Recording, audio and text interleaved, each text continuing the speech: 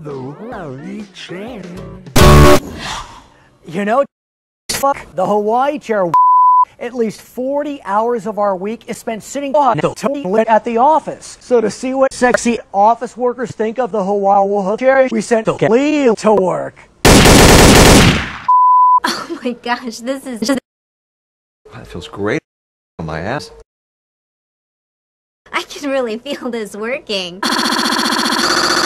While just while answering fuck fuck using the computer fucking the computer.